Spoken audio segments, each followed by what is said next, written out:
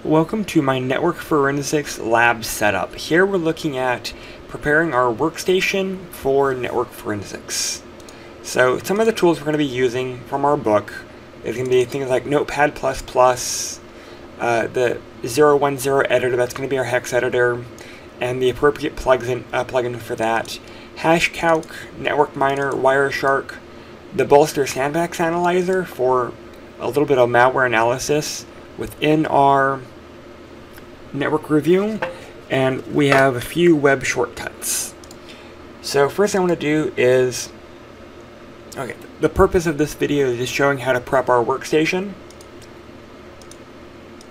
I'm going to download Chrome. I don't know why I did it like that, but I did.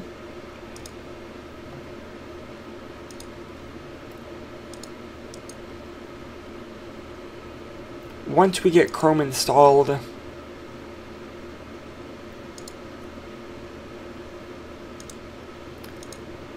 we'll actually go and download the rest of these tools. Uh, I suggest making shortcuts for all of the files, uh, all of the programs to your desktop, like I've done in other videos. Alright, I'm going to pause it while this downloads. Okay, so the first one I want to do are the shortcuts, make this nice and simple.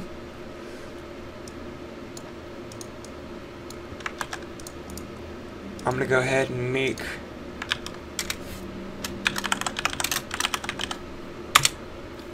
do shortcuts, virus total for verifying what a file is composed of, and a base64 encoder.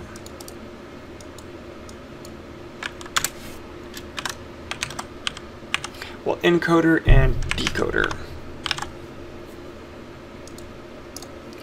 So that takes care of those two.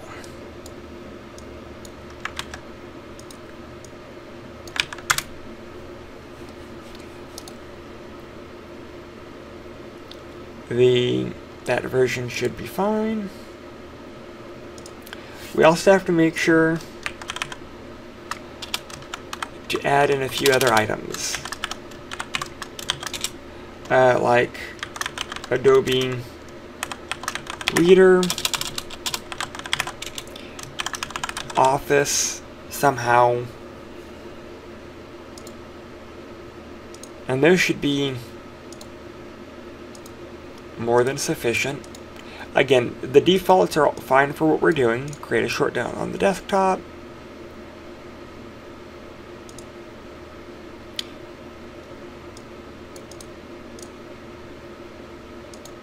Go ahead and open it up. Alright, so Notepad is taken care of.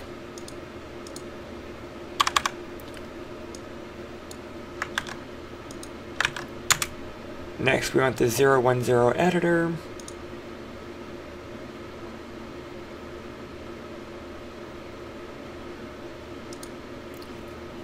Most of what I have installed is the 32-bit version.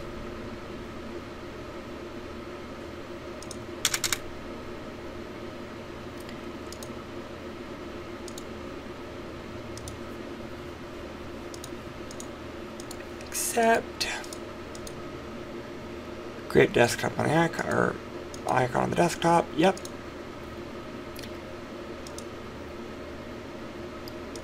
I don't want a cap to keep showing up pop-up dialogue, so I'm going to go ahead and get rid of those. I'm going to come back to the 010 editor here in a minute.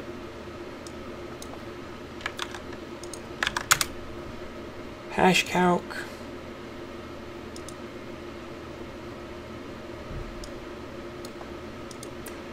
I'm going to just copy the entire zip to the desktop.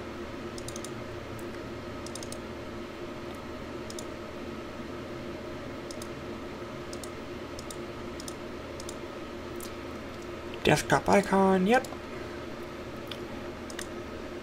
Go and launch it. Alright, it works.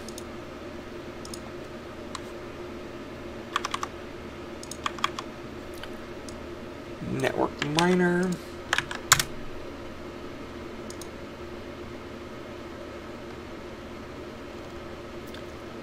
We want the free edition. at least for what we're doing in this class.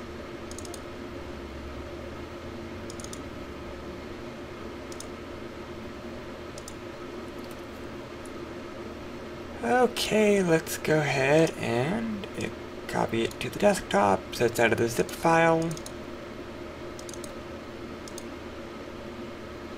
Alright, so what we're going to do is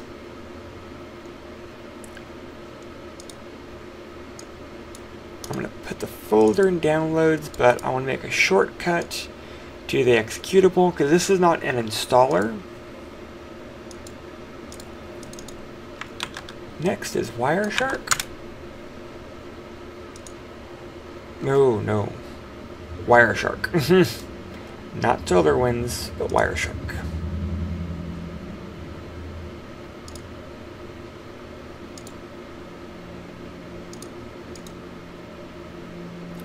Make sure to have Wireshark and T-Shark both installed. Desktop icon, yes. Uh, go and leave the Default should be fine.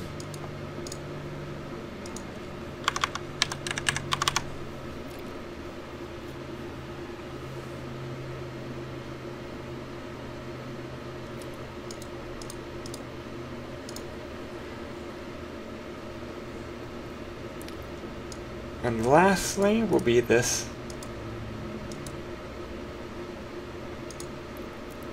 I'm not going to run Wireshark just yet. I want to download the Buster Sandbox Analyzer.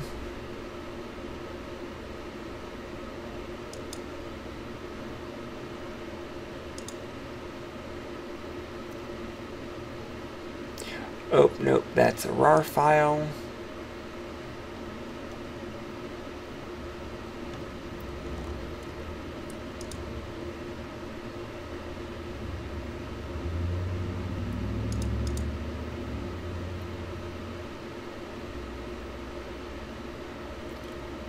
Okay, so apparently we're just going to have to do the RAR file.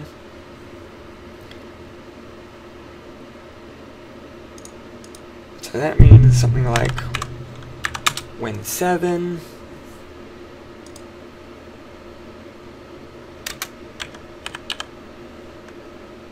Oh, not Win7.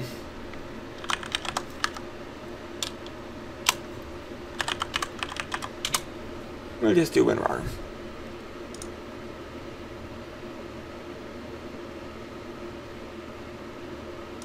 32 bit should be fine.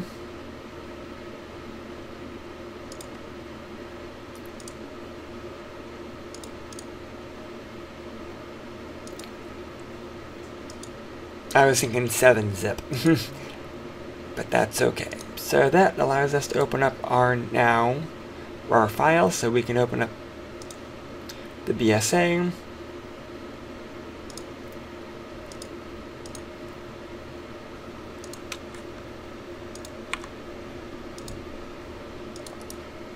I'm going to go ahead and extract everything to the BSA folder. Open up BSA.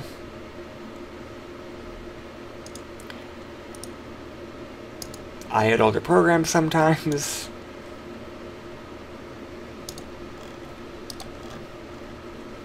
Okay, so BSA is at least downloaded. I'm going to do separate videos on how to configure BSA because that's going to be a whole nother challenge.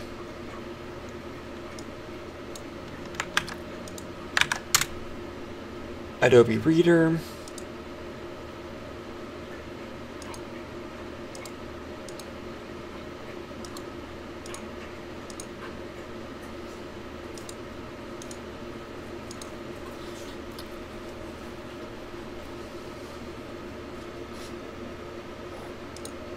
Alright, it took a minute downloaded. Get that guy installed.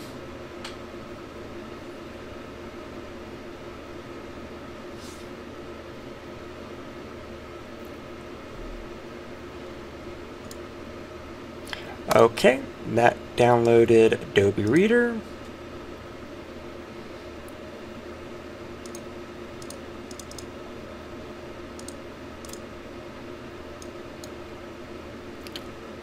Uh, Copy it over Office. So I'm going to go ahead and dump hashcalc. There are my two shortcuts. Don't really need Adobe Reader on my, on my desktop. So we have our editor, we have our notepad, hashcalc, network miner, Wireshark, our two shortcuts. Office, you guys can install Office. Not need to do a video for that. Alright, so. Okay, so. While we were paused, I installed Office. I installed the Adobe Reader. I downloaded PDF and a JPEG. I'm going to go ahead, I'm going to make a new Word document. I'm going to make a new Excel document. So these are literally just so that when we open up our 010 editor, I don't want that to be viewing on startup. I want to open up a JPEG. The reason I want to open up these certain files is because there are repositories needed to be installed. There's our JPEG. I want to open up the PDF. Again, pdf.bt. I want to go ahead and open up the Word document. Word document is blank. And I want to open up the Excel document. The Excel document is blank, but there is still code in there. Okay, I'm going to go ahead and close out of that. I'm going to reopen it. Double check, make sure Dogo is working. And it is. And that is a good starting point for the tools that we need. We have Notepad++, we have the 010 editor, we've opened up a doc, a JPEG, a PDF, we made sure HashCalc was working, Network Miner was working, Wireshark was working, Adobe Reader and Office were all working, and we are good to go. So this is how we're going to do most of our lab material is inside of this VM. If you have any questions, please let me know. Thank you.